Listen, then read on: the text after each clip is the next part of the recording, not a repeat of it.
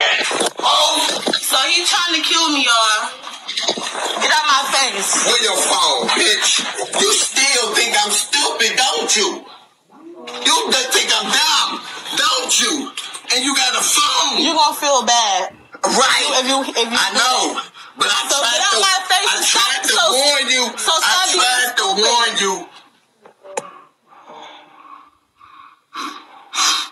And you still don't give a fuck. That's everybody's problem. I'm accepting it. No, you're not. I am. You would be bleeding if you were. Cause I would be accepting ready- it and I'll be for it to stabbing your motherfucking jaw. But I'm ready for it to happen. No, you ain't. No, you ain't. Okay. No, you you think you are. You are?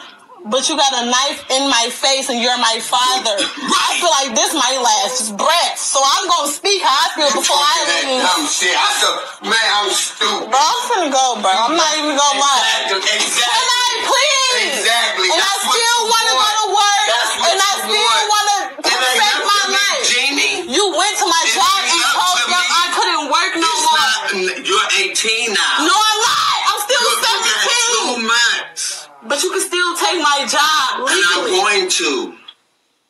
That's fine. We both gonna be fucked You up. got two months. We live in this house You got together. two months. We both gonna See, be you fucked the up. stupid bitch. I can stab your whole ass. Cause you the stupid motherfucker. And you think I'm a bitch. You think I'm a whole ass nigga. You think I ain't your daddy. You think I ain't crazy. Bitch. That's your problem. You fucking me.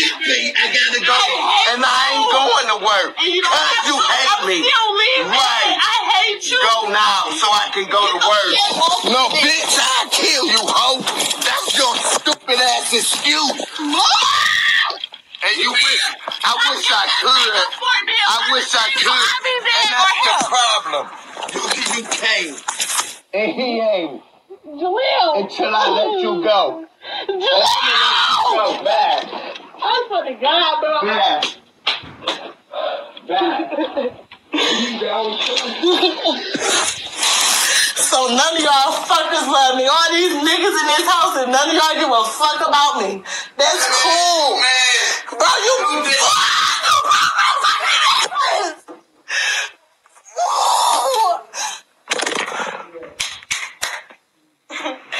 Bro, it's... You would never get me back, Dad. I swear. You would never get me fucking back, bro. Look what you did to me. The fuck? Because I'm trying to tell you about your fucked up ways and how you treat us. I can't tell you. And I'm supposed to think that you're the only one here to protect me. And I got a fucking knife to. I, it, I love myself.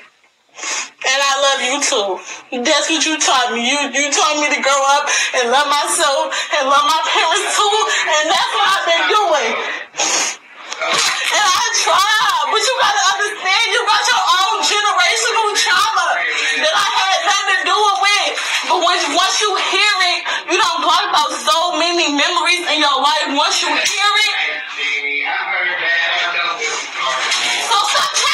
good before you die, cause it's not gonna happen. You doing other shit. You being good for yourself. Absolutely right. You are absolutely right. I just wanted you to understand me. I never wanted to over. You don't. You don't, cause if you did, you would have never did it. You don't think I know what you're talking about? If you did, all of this would have never happened on my soul. That's what you say, then.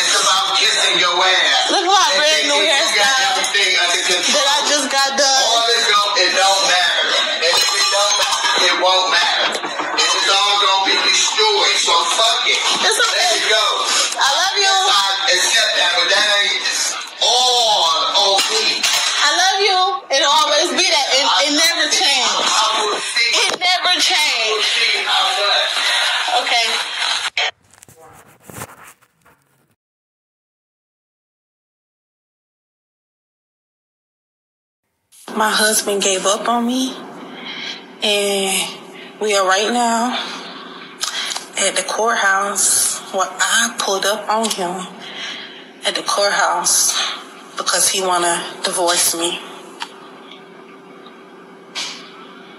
Right? You gonna give up?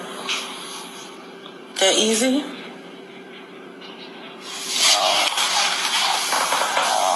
Don't You don't know, but you up here. Did you fill out the paper? it's like I'm, I'm, it's like I'm on edge. Like, Did you fill out the paper? can I, can I talk for once? Like, it's like I've been going through so much. Like, it's, it's, I'm debating. Like, should I go with it or should I not? Like, I don't. We debating you up here at the courthouse. This it looked like you made your decision. Like, I'm, I'm just. Like, why, why are you here? I'm trying to see if Why, you really gonna go through it. next to me? Cause it's like, I'm, I'm trying to, I'm trying to, I'm thinking like, You text me, told me you was getting a divorce. You at the courthouse. I pulled up on you obviously to stop this from happening. So you leaving with me or you staying here? you could easily be doing this. I could, I'm thinking like, this, this woman, you know, I, should I divorce her or should I stay with her and, you know, just try to work it out? But it seems like you ain't trying to like, get your stuff together. Cause like, I, I done told you plenty, I done told you plenty, I done told you plenty of time. Don't make me get come on. Don't make me get arrested.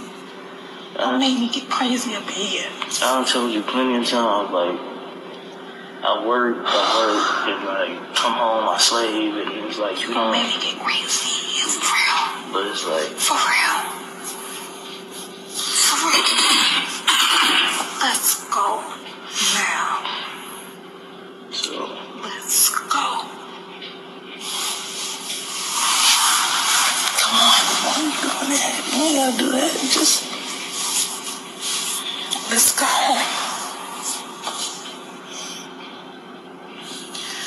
I don't know, I'm thinking, you can, you can, just, The book of Ecclesiasticus, chapter 25 and verse 26. If she go, not as thou wouldest have her, cut her off from thy flesh, and give her a bill of divorce, and let her go. All right, and that's what's coming to a lot of these, you know what I'm saying, Keishas and Evas. All right, way. All right, you finna get that bill of divorce and get your ass let go. All right, before I continue, let me start out by giving all honor, glory, and praise to Yahweh, Bahashem, Yahweh Shai, Bahashem, Ruh Kakwadash, and double honors to the apostles and elders of Great Millstone, who teach in the course where I learned this truth. Peace and salutation to the Lord's elect. All right, finna get into this late evening lesson, Lord willing to be edifying. All right, uh, I showed you the clips up to this point, so you can pretty much see what it's gonna be about. All right, another one of those. All right, dealing with the Eva and Keisha demon. All right, and um, you know we'll start right here at the end. All right, the last clip in particular you just seen. All right, with um the Jake woman, so-called Negro woman, trying to keep her contract with her husband. All right, because that's all that is. That marriage license shit, that ain't nothing but a contract. All right, you know, and um, you know, it, it seems like Jake is at his wits end with the with the demon. All right, he don't want to deal with the witch no more. Refer refer to them as witches, not demons. All right, you know, so he's pretty much at his wits end with her. All right, you know, he didn't told her pretty much that he don't wanna, he don't want to deal with her no more. All right, uh, she can't handle rejection, which a lot of these women can't. You know, but you know, the times we coming into known as Jacob's trouble.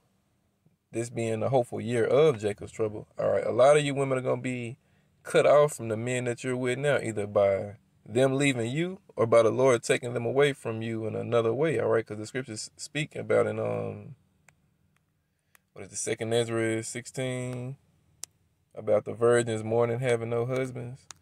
All right, second Esdras sixteen in verse 33 it says the virgins shall mourn having no no bridegrooms the women shall mourn having no husbands and their daughters shall mourn having no helpers all right a lot of these men over here and i use the word men loosely all right you know they're men as far as their geni- gen- genitalia goes but it's you know anyway a lot of them men gonna get drafted and they're gonna get called off to go fight in uh this third is coming. This third coming. Whoa! All right, World War Three. All right, and then also a lot of them gonna get you know gunned down in these streets in the time we're coming into. Damn, try to do that. All right, y'all forgive me. But yeah, they're gonna get called off to go fight in that third man, that third world's war, Esau's, you know what I'm saying, final war that he's gonna uh that's gonna be the war that takes this takes him out of rulership. All right, Esau being the so-called white man, which is not white, he's red. All right, but you know, yeah, a lot of these Jakes over here, you know, they're gonna get called to go over there and fight in that war. All right, a lot of them gonna get caught up in the seditions of men. All right, the civil unrest that's coming to this place. All right. And you women gonna be left out here without a covering. All right. And here's where it says it. Second Esdras 16 and 34. In the wars. All right, that's plural, meaning more than one. All right, class wars, race wars, race wars. All right, and um the ultimate third war. All right, World War Three. In the wars shall their bridegrooms be destroyed, and their husbands shall perish of famine. All right, the Lord gonna, you know, when the um shortage of food comes, the Lord gonna starve a lot of these men and these women out. All right. Then you're gonna have Esau rolling rolling on them and shit too. All right. It's, it's gonna be a deadly time out here. All right. And the Lord is already bringing the division now. All right. You know, He's already setting these households apart. All right. You know. So that woman, all right, hey, at least she's trying to, you know, uh, you know, fight for what she she thinks is her salvation. All right. Because at the end of the day, a man is gonna be the salvation of a woman. That particular man, I doubt it. But at least she is trying, you know, to reconcile herself back to the man. But maybe she went too far. All right. The scriptures do speak about, you know, if a man and a wife disagree and they're apart, you know, let them, they can re- be reconciled back together. But that time apart, she's not to be with any other men. All right. And I, I don't know the intricates of their relationship or why they're going through what they're going through. But, you know, clearly dude is at his wit's end with the woman and he ain't trying to, you know what I'm saying, string it out no longer. All right. I don't blame him. All right, you seen that woman? All right, shit, man. Big Shirley with the blonde hair. All right, you know she's unruly. All right, you know she's contentious. All right, the way she was grabbing on dudes, she was like, "Get up, come on, before I go to jail." All right, you know what I'm saying? And Jake all fucking, you know what I'm saying to himself and shit, which is cool. But you could tell who was uh, who was who was running that shit. You know what I'm saying? She she gonna she gonna uh make that dude have an early grave, all right? You know, stressing them out. Scripture tell you um a, a, a woman uh let me see, so a woman uh calm her husband's heart, you know, not do that to him. Let me see.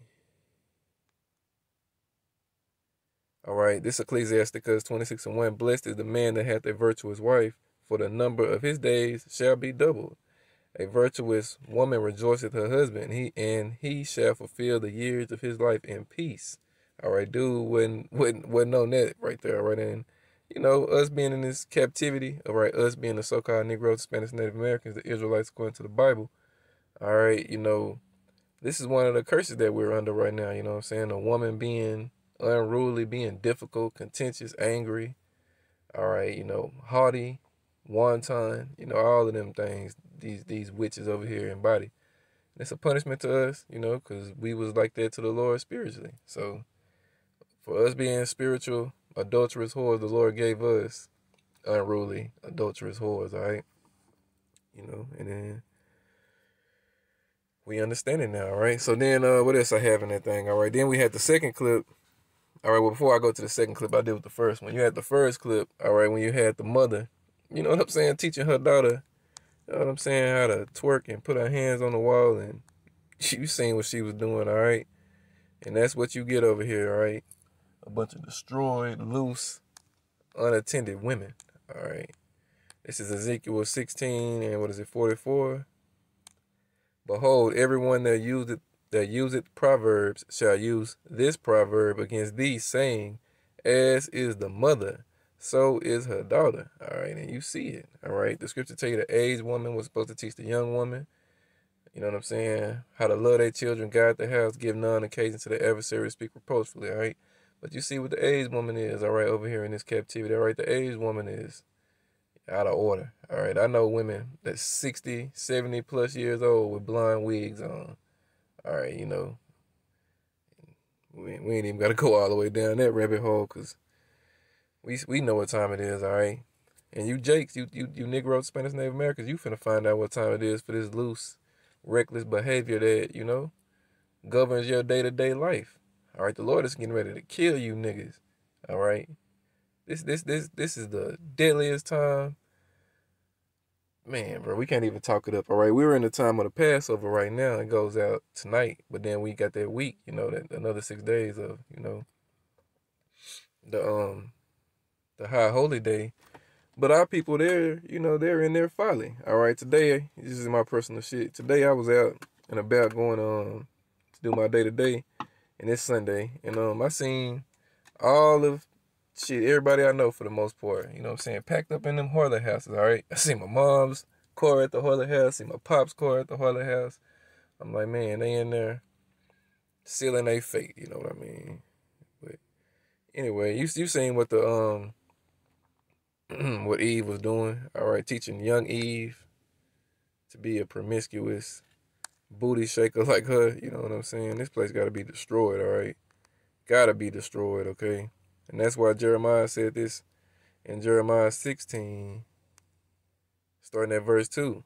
All right, I'm to start at verse 1. The word of the Lord, Yahweh Shemashah, came also unto me, saying, Thou shalt not take thee a wife, neither shalt thou have sons or daughters in this place. For thus saith the Lord, concerning the sons and concerning the daughters that are born in this place, and concerning their mothers that bear them, and concerning their fathers that begat them in this land. Verse 4 They shall die of grievous deaths. All right. They shall not be lamented, neither shall they be mourned, but they shall be as dung upon the face of the earth, and they shall be consumed by the sword and by famine and their carcasses shall be meat for the fowls of heaven and for the beasts of the earth. All right, that's what's coming to the majority of the two thirds. All right, they were born in vain. All right, you know, and they got to be destroyed. One second, y'all. Okay, and um, you know, I was watching the elders out of Dallas video yesterday. They was going over um, it was the Passover lesson. All right, and Elder Yashawamba was going into you know how, you know, they had some young men there, their sons when they were just going into how you know um the offspring of the elect men all right should reverence and see their fathers as, as you know what i'm saying something special all right? You you don't have a if you're if you are of the elect man's seed line all right you don't have just know anybody as a father all right? You got one of your how about some outside day one as a father all right?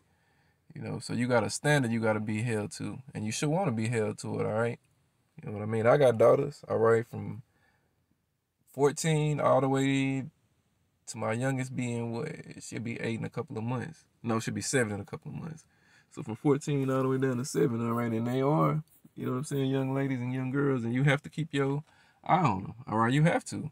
All right, the scriptures say, uh, keep a sure watch over over your daughters, all right? If you're a man, especially, all right, you're supposed to keep your foot on their motherfucking necks, all right? You know, and that's just the truth of the matter. All right. You know what I'm saying? Shit, I had to go release the beast on one of my daughters a couple of weeks ago. You know what I'm saying? For being a little, doing something she ain't had no business doing. All right. You know, and she saw daddy's angry side. All right. You know, she she had to she had to see it. All right. So um, then what else we had? What else did I have in that video? And then we had the second clip. All right, because if you don't do your daughters keep your keep your sure watch over them and keep your foot on their neck while they're young girls. You're gonna have them grow up and be like the dude in the second clip. All right, you know his daughter's 17 years old. You see how she dressed. All right, you seen the cum catches on her face. You seen the mouth and the and the, and the shit talking she was giving to her father and shit. You know, you know what I'm saying, man. All right, dude. Uh, he had to do all kind of shit to get that get that demon under control, but he got it under control, all right, you know. And only men can do that, all right. A woman, you know what I'm saying? If she was with her mother, they would have been throwing blows, all right. You know, they would have had a whole fight. It didn't, it didn't have to go that far with her father, all right. It went further than it should have, but he put the rebellion down, all right. The rebellion was put the fuck down, all right. Let me see. Is it this one or is it seven? Oh yeah, Ecclesiasticus uh, seven. All right, and I had this post, verse twenty-four. Has thou daughters? Have a care of their body, and show not thyself cheerful toward them. Marry thy daughter, and so thou shalt perform the way matter, but give her to a man of understanding. All right, so that's the father's job. All right. You know, when the scripture tell you you're supposed to honor your father and your mother all the year, all your days. All right. But again, in, in this world we in today, with these spirits on earth today, the majority of them are meant to be destroyed. All right, because there is no respect in the household like that no more. All right, it's nothing but you know contentious, angry, bitter women. All right, because America is bitter. America means bitter. And that's the type of women that you got over here. Bitter, angry ass women. All right. And again, I use the word women loosely. All right. This is First Timothy 5. All right, we're going to start at verse 11. It say, But the younger widows refuse, for when they have begun to wax one wanton against Hamashiach, they will marry. All right. Verse 12, have a damnation because they have cast off their first faith, and withal they learn to be idle, wandering about from house to house, and not only idle, but tattlers also and busybodies, speaking things which they ought not. I will therefore the younger women marry, bear children, guard the house, give none occasion to the adversary to speak reproach, reproachfully, for some are already turned aside after Satan.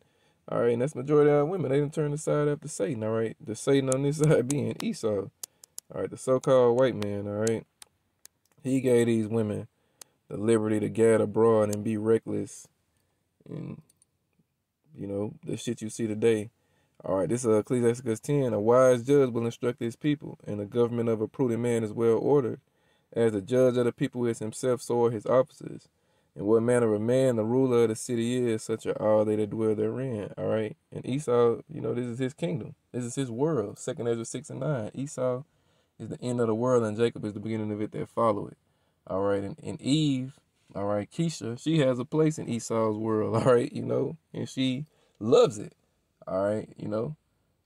Man, if you if you told these women they didn't have access to the things that they have access to right now, you know, they would lose their fucking minds. And they gonna lose their fucking minds because the Lord is gonna take it away. All right, you know. Whether they believe it or not. You know what I'm saying? The Lord is gonna take it away. Let me just prove that also. All right, Isaiah 3. I'm to start at uh, verse 16.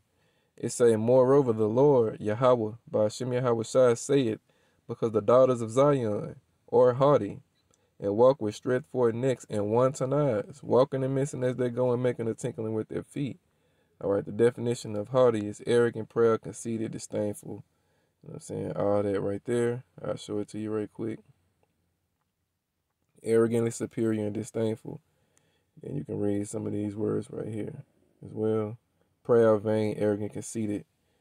You know, superior, egotistical, superfluous, condescending, lofty. All right, so on and so forth. All right, and our women embody all those characteristics. All right, then it says they're wanton. All right, this is a sexually unrestrained woman. All right, sexually unrestrained and having many casual sexual relationships typically used of a woman, they're whores. All right, Amos 7 and 17. You know, tell you all about it. All right, let me see. Right here, behave in a sexually unrestrained way. Women who have wanton with suitors. All right, so the Lord said, you know what I'm saying, the so-called Negro, Hispanic, and Native American woman, for the most part, was going to embody that haughty spirit and that wanton spirit. All right. Verse 17. Therefore the Lord will smite with a scab the crown of the head of the daughters of Zion, and the Lord Yahweh Shai will discover their secret parts. All right, and that's why the southern kingdom, for the most part, can't grow hair. All right, when these Negro, Hispanic, and Native American women, but again, for the most part, this is the southern kingdom hit with this curse the hardest. All right, when these uh Negro women grow up and they get to get into that whole phase and shit, all right, they lose their hair. They ain't able to grow it no more. And it happens to some of them when they small girls, but for the most part, you know what I'm saying, the little daughters of Zion, when they little girls and shit, before they, you know what I'm saying, that box get hot, they have hair. All right. But then the Lord cursed them and take it away. All right. And this is how you know this talking about the Negro, Hispanic, and Native American women. Because who leads out of all nations women um, and wearing other people, other nations' hair? All right. These nations make more money off the Negro woman and, and the Hispanic and Native American woman buying their hair than any other nation of women. All right, and that's because of the curse that's put on them. All right, verse 18.